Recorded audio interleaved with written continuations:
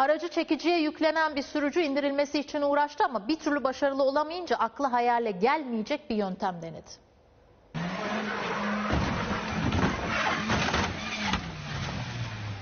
Çekicinin üstündeki aracını böyle götürdü.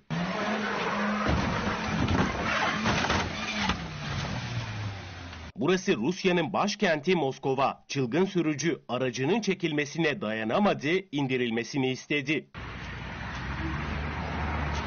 Cevap olumsuz olunca yukarı çıktı. Aracını çalıştırıp geri vitese taktı. Tamponunu parçalamak pahasına böyle indirdi.